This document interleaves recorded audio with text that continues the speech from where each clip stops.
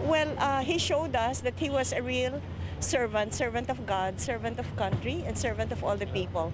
So I hope we will all be like him. Is his death a big loss for the Philippines? Yes, of course. And uh, I hope that uh, there will be other cardinal sins. Thank you.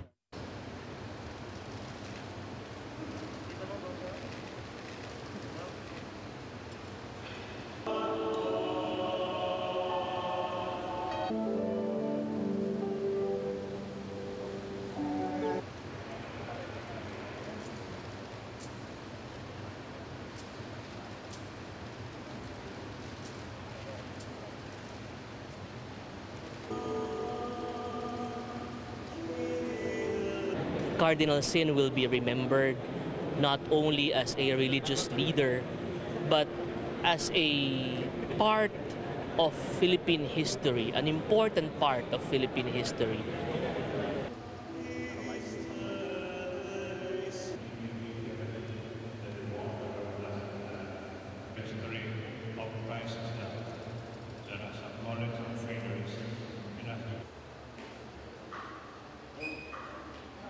Alam naman natin na ang kanya kasaysayan ay nakaugnay sa simbahan at saka sa bayan. Ano? Kanya malaking ah, malaking biyaya itong tinamo ng simbahan at ng bayan sa kanyang buhay.